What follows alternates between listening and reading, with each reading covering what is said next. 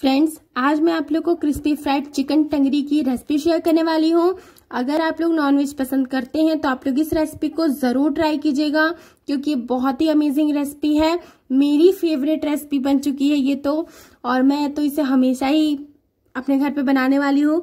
तो आप लोग भी अपने घर पे इसे ज़रूर ट्राई कीजिएगा फ्रेंड्स, ये बहुत अमेजिंग रेसिपी है। अगर आपने के का चिकन खाया होगा तो ये आज आपको उसका याद दिला देगा। चलिए इसे बनाना शुरू करते हैं।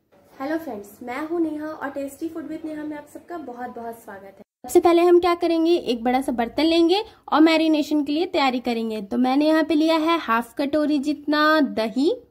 जी हाँ ये देखिए, ये होममेड दही है। आप मार्केट का भी दही यूज़ कर सकते हैं। अब इसके साथ मैं इसमें डालने वाली हूँ one tablespoon ginger garlic paste, जो घर का चम्मच होता है नॉर्मल, उससे एक चम्मच। अब ये देखिए, एक इतना बड़ा मैंने लेमन लिया है, इसका मैंने रस निकाल लिया है। अब इसे भी मैं इसमें डाल दूँगी। आपके पास अगर इतना बड़ा नींबू ना हो तो आप दो नींबू ले सकते हैं। अब नमक ले रही हूँ मैं वन टी इसमें नमक डाल रही हूँ। आप अपने स्वाद के अनुसार इसमें नमक डाल लीजिएगा। इसके साथ ही साथ मैं इसमें one teaspoon black pepper डाल रही हूँ, यानी कि काली मिर्च का पाउडर हाफ़ टी स्पून हल्दी पाउडर ये ऑप्शनल है फ्रेंड्स मैं थोड़ा कलर के लिए डाल रही हूँ। अब मैं इसमें डाल रही हूँ वन टी स्पून लाल मिर्च पाउडर इसके साथ ही साथ दो टी स्पून मैं इसमें डाल रही हूँ गरम मसाला। हम जो घर में नॉर्मल गरम मसाला यूज़ करते हैं, वही मैंने लिया है। अब ये देखिए, जिस कटोरी में दही था, उसमें मैंने थोड़ा सा पानी डाल करके इसमें डाल दिया है। सबको अच्छे से मिक्स कर लेंगे।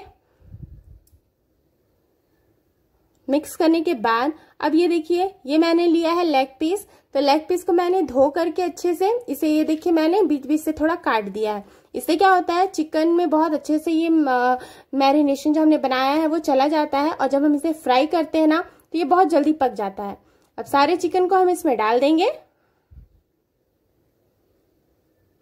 अच्छे से सबको मिक्स करेंगे। मैं आपको बता दूँ, आप इसे हाथों से ही मिक्स करिएगा, ताकि जो हमने मैरिनेशन बनाया है, वो अच्छे से इसमें चला जाए। ये देखिए, अब क्या करेंगे? एक छोटा बर्तन लेंगे।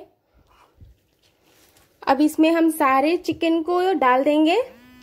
अच्छे से पूरे चिकन को हम इसमें डालेंगे। बिल्कुल जगह हमें नहीं छोड़ना है बिल्कुल गैप नहीं छोड़ना है। अच्छे से एकदम दबा दबा करके हमें इसमें डालना है। ये हम इसलिए कर रहे हैं फ्रेंड्स ताकि ये देखिए, ये जो मैरिनेशन बचा है ना, इसे हम ऊपर से डालेंगे। अब इसे डालने के बाद आप इसे तीन से चार घंटे मैरिनेट होने के लिए फ्रिज में रख दीजिए।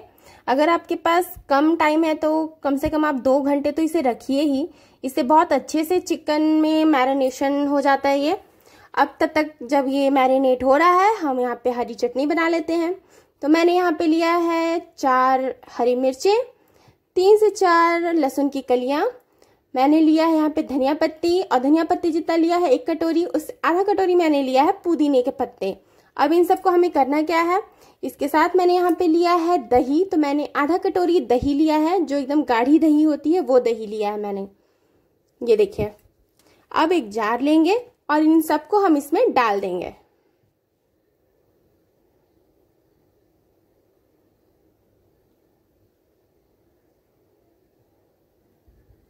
ध्यान रखिएगा फ्रेंड्स, हमें इसमें पानी नहीं डालना है।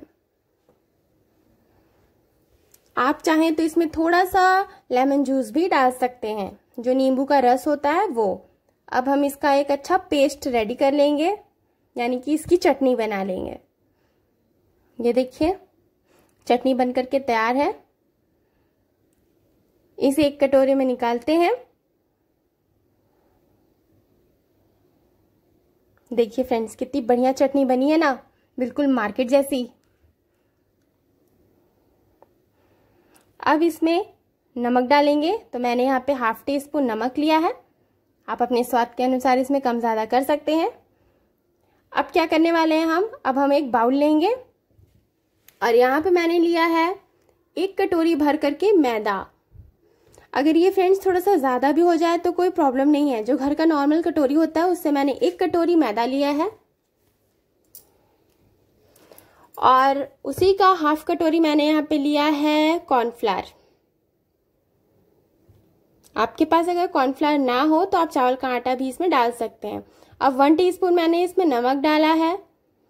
हाफ़ टी स्पून मैंने इसमें काली मिर्च पाउडर डाला है। हाफ़ टी स्पून हल्दी पाउडर, ये ऑप्शनल है, मैंने कलर के लिए डाला है। अब ये देखिए फ्रेंड्स, मैंने लिया है ऑरिगेनो। तो अब हम इसमें डालने वाले हैं ऑरिगेनो। तो मैं इसमें टू टीस्पून ऑरिगेनो डाल रही हूँ, ये देखिए। इससे जो हम चिकन बना रहे हैं, उसका टेस्ट बहुत अच्छा आएगा। सबको अच्छे से मिक्स कर लेंगे। मिक्स करने के बाद एक साइड पर रखते हैं। और अब क्योंकि हमारा चिकन मैरिनेट हो चुका है तो ये देखिए, तीन से चार घंटे रखने के बाद अब क्या करेंगे? अच्छे से एक बार फिर से हम इसे मिक्स कर लेते हैं। और अब इसे हम डालेंगे मैदे में। जो हमने सूखा मैदा रेडी किया था, वो अब अच्छे से हम इसमें इसे लगा देंगे। जो हमने कट किया था चाकू से, उसमें भी आप अच्छे से मैदे को डालें। बिल्कुल भी कहीं से भी ये रहना नहीं चाहिए। अच्छे से पूरा हमें इसे मैदे से पूरा पैक करना है। ये देखिए बिल्कुल इस तरह से। अब थोड़ा सा इसे इस तरह से हिलाएँ ताकि जो एक्स्ट्रा मैदा है वो निकल जाए। और अब क्या करेंगे? ये देखिए मैंने पानी लिया है। हम इसे पानी में डालकर पाँच सेकंड के लिए छोड़ देंगे। ये देखिए मैं आपको सामने इसलिए दिखा रही हूँ। मैं एडिट नहीं कर रही। पाँच सेकंड के बाद पूरा पानी जब अच्छे से निकल जाए, थोड़ा सा हिलाएँगे तो पानी गिर जाएगा। वापस से हम इसे एक कोट और लगाएँगे मैदे का।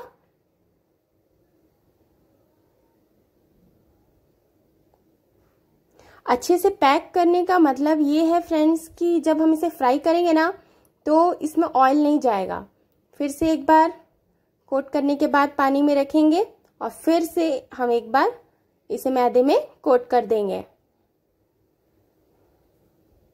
आप अगर बहुत ज़्यादा मोटी परत नहीं चाहते होंगे तो आप सिर्फ़ दो ही बार इसे करें। और अब अच्छे से ये देखिए, दबाएँगे इस तरह से।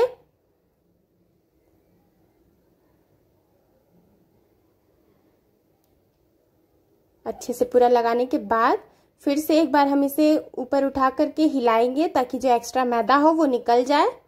और अब हमने कढ़ाई में एक तरफ़ ऑयल को गर्म कर लिया है, उसमें हम डाल देंगे। ये देखिए ऑयल मीडियम गर्म होना चाहिए फ्रेंड्स बहुत ज़्यादा नहीं। ये देखिए, इस तरह से। अब ये देखिए, अच्छे से पलट पलट करके हम इसे फ्राई कर लेंगे। बहुत ध्यान से फ्रेंड्स क्योंकि मुझे आपको दिखाना है इस वजह से, ये गिर रहा है। वरना ऑयल में जब काम करते हैं फ्रेंड्स तो बहुत ध्यान से काम करना चाहिए। वरना जो तेल है वो हमारे ऊपर भी छिटक सकता है। अब ये देखिए, हमने जो पलटा है चिकन को, कितना अच्छा दिख रहा है फ्रेंड्स उसकी लेयर आप देख सकते हैं। फ्राई हो चुका है। अब ये देखिए चिकन को निकाल लेंगे। इसी तरह से सारे लेग को हम फ्राई कर लेंगे। तो दिख रही है ना फ्रेंड्स बिल्कुल केएफसी स्टाइल की चिकन खाने में भी बहुत ही अमेजिंग है। आप ज़रूर इसे ट्राई कीजिएगा अपने घर पर।